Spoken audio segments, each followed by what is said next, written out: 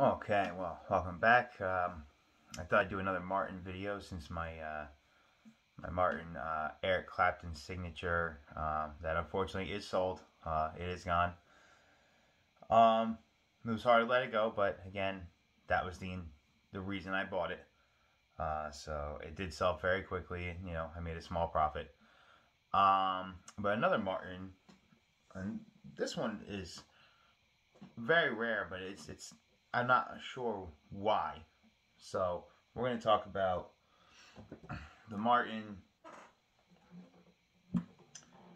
DC35E. Now, for whatever reason, I'll just take a few quick looks at it. There's, of course, the D35 back.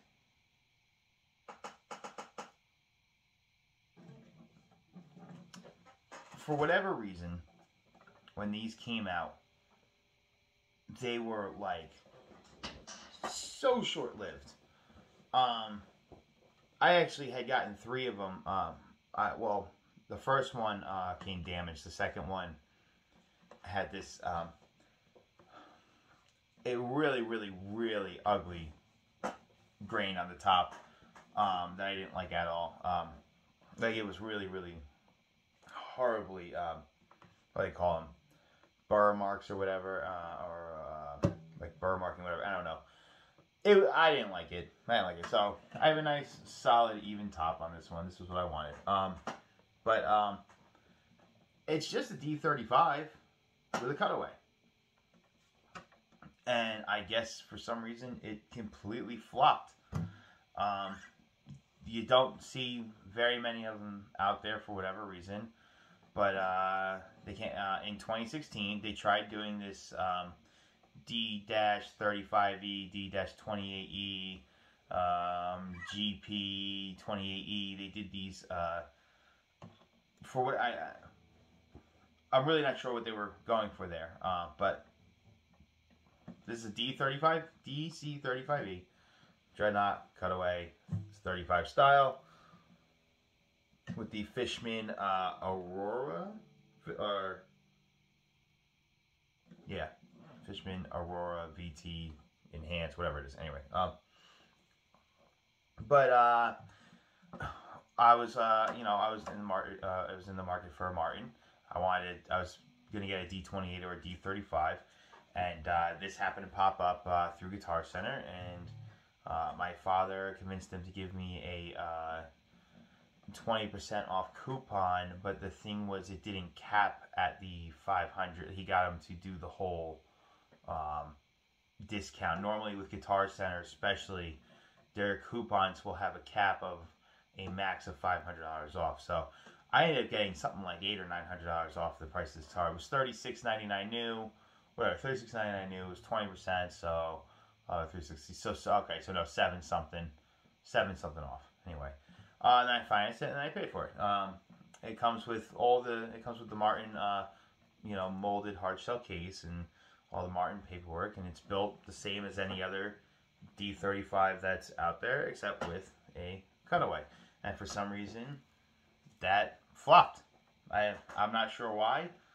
I guess way too many traditionalists just decided they didn't. They just did not want their D35 to have a cutaway or whatever, or the way it was uh, named, maybe. Most guys maybe just went, I, I want to have a D35, whatever, blah, blah. But they came and went, and they are rare, and they don't uh, come around very often when you see one. But, I mean, if you need a cutaway, and if you're a lead player, I mean, I, I very, you know, recommend picking up one of any of these series, because it, it, it's really, it's, it's a nice cutaway. I mean, I can get, you know, I mean, you know, easily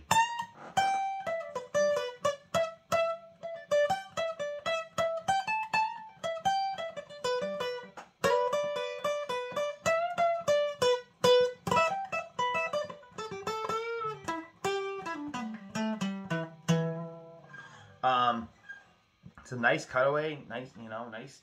It, it, it really fits your palm well. I mean, I, it, that, I mean, I know, I know it's being, you know, it's kind of the same cutaway as most other acoustics, but like, you know how Taylors kind of have that, that, it, it kind of flattens here. Nothing, I have nothing against that whatsoever. Um, but if you want a Martin with a cutaway, I know there's a lot of the X series and there's, there's probably some Road series things, and I know that they're doing these things, but the D35s, the D28s, things like that, they just they don't have it. Uh, I love it. I need it. It didn't sacrifice any sound, in my opinion. This this is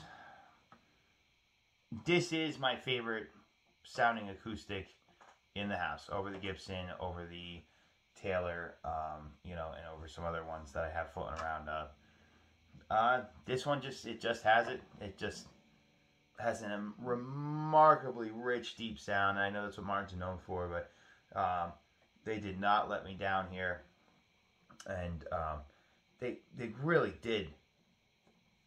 Martin really does put their guitars together so nicely. You know, I mean, I've had this now for six years, um, and I have played it quite a bit, but they really do. They they really do those little things, like the ebony is perfect. The ebony is the most perfect piece of ebony I've probably seen on an acoustic uh, fingerboard, on any fingerboard, sorry. Um, completely dark, rich, grainy, no streaks, and the binding is just put on there incredibly perfect. Um, it's very hard to find any little imperfections. If, if you were to really look around, it's very, very hard to find any imperfections on uh, this guitar and even um, my other Martin and other Martins that I've had. Um,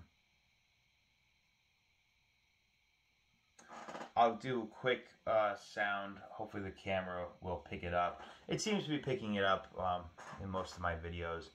Uh, but I am gonna I am gonna back away just a little because I could tell with the air clapped when I was strumming that it was it was a little loud uh, or uh, muddled. But um, I'll try and get you a really clean sound out of this.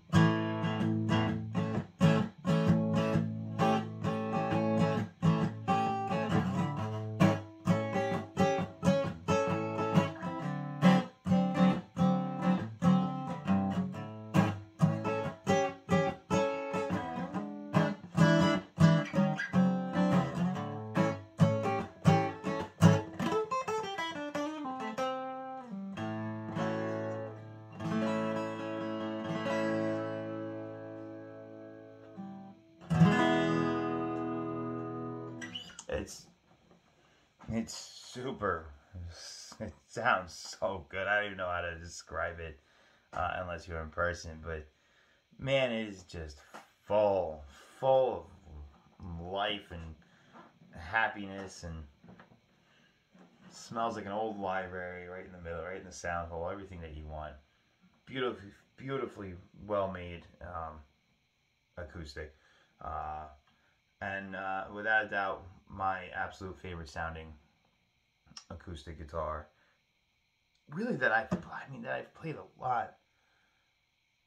Some about this one. Uh, I've played other D35s, and they do sound good, but it's almost like by having just this small uh, part missing here, this small cutaway missing here, it's like the um, it tames the that Martin roar a little bit, that that big bottom end. It's it really opens it up. It's not super. I mean, it's got the sound. It's got the Martin sound, but it's it's not super.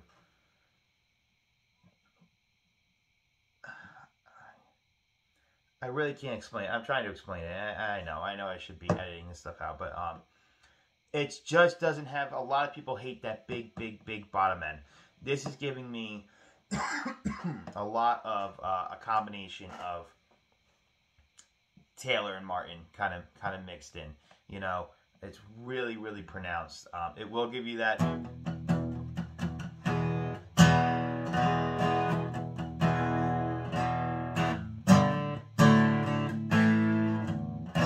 It'll give you that roar, but at the same time, it'll give you those mids, those just those sweet.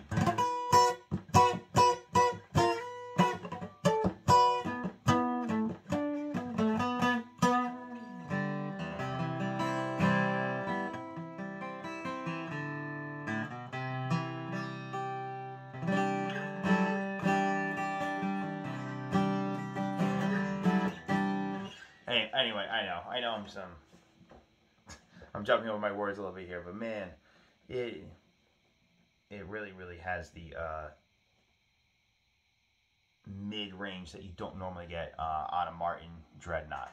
Uh, you can get that from the Triple O's. I love the Triple O series, especially the 15, um, which I have one, which I'll talk about. I think that is the best guitar for the money period um, uh, when it comes to getting into a quality instrument before really breaking the bank. Um, you know, uh, but again, that's for another video. But there's absolutely nothing not to love about this. There's, there's a couple other videos out there. It's, I'm not saying that. There's some there's a private musician's friend private reserve video and a acoustic letter, and there's a few things out there. You know, you know all the specs. It's built exactly like a D35. But uh, my personal experience with with having one, I've gigged with it several times. Uh, I know it doesn't have a mark on it, but that's because I am I am crazy like that. I keep my things pristine, and that's just what I like to do. Uh, I polish them every night, love them, kiss them goodnight. You know,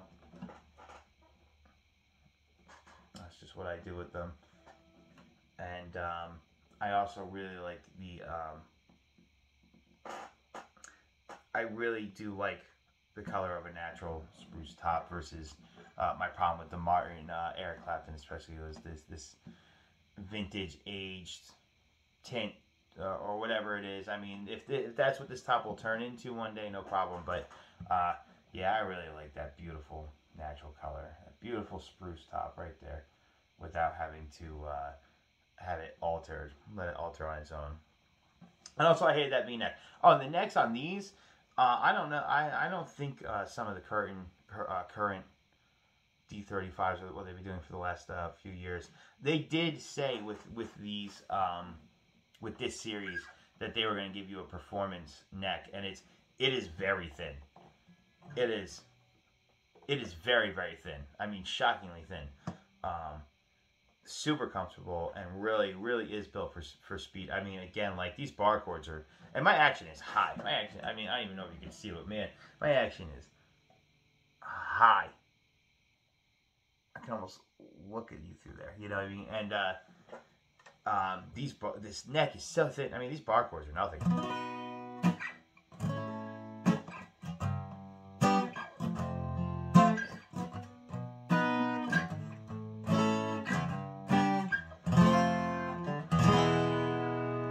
Um, great neck. Something you really need to experience. Oh my god. It is so thin. I hope they made them all this. I hope they made them all like this, or I'm sitting here telling you, you know, go find one of these or try and play one or try and experience one, and I'm telling you, oh, the neck, the neck, the neck. But, and uh, this neck is super thin. Again, these are things that are hard to see on camera, but my God. I love it. This thing is built for speed.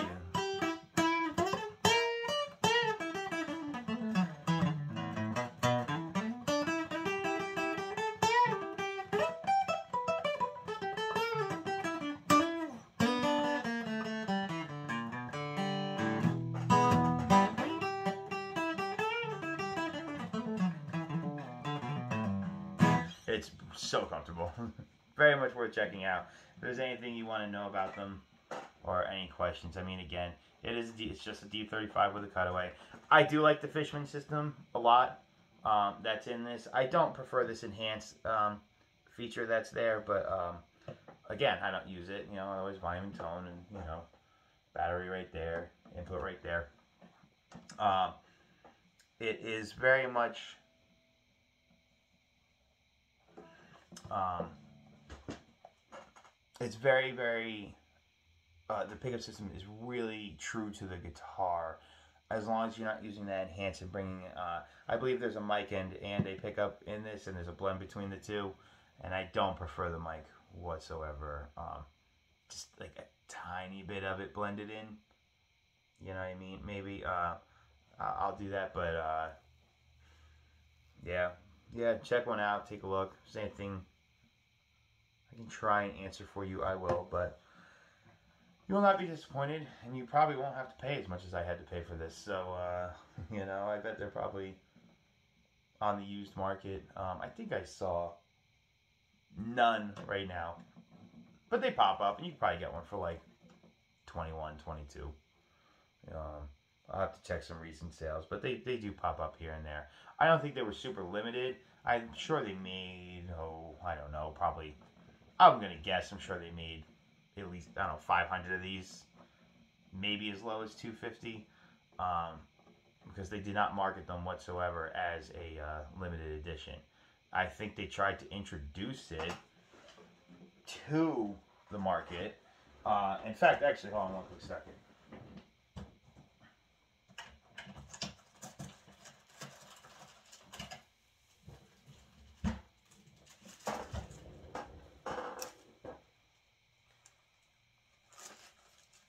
had a